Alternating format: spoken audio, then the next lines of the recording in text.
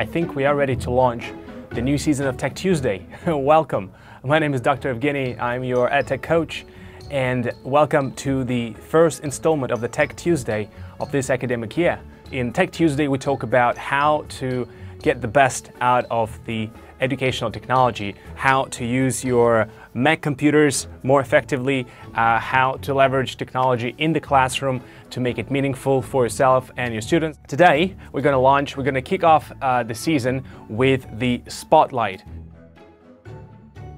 If I want to open anything on my computer, whether it is application or document, Spotlight will allow me to do that in the most quickest way. If I'm looking for an application, let's say calculator, uh, this is the quickest way to open an app. If I'm looking for a document, this is the quickest way to open or search a document on my laptop.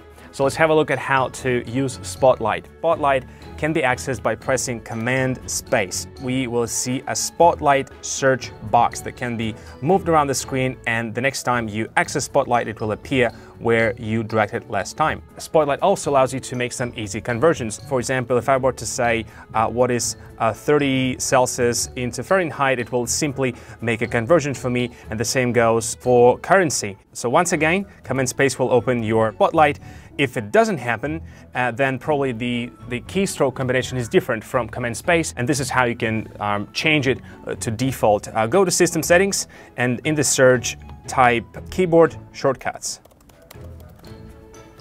This is what we're looking for, Keyboard Shortcuts. In here, let's go to Spotlight.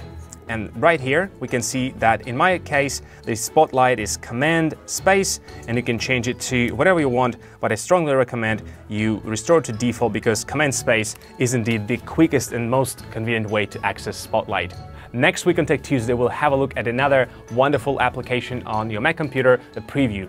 The Preview app uh, can be used to annotate, to remove backgrounds, or even um, leave electronic signatures on documents. Thank you for your attention and time tuning into this edition of Tech Tuesday. We'll see you in the next episode. Bye bye for now.